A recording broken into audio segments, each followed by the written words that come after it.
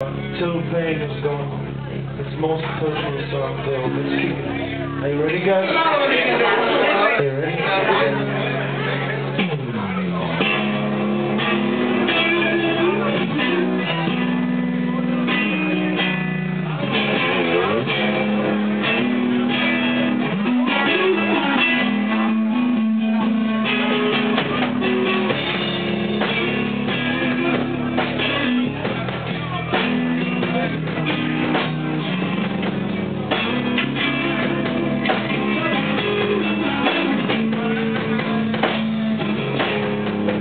behind